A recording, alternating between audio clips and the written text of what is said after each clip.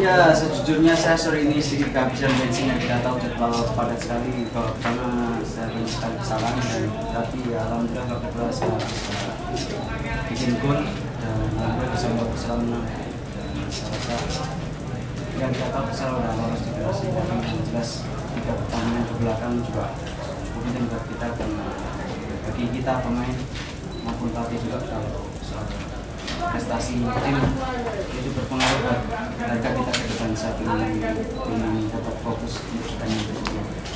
Tasul. Gol.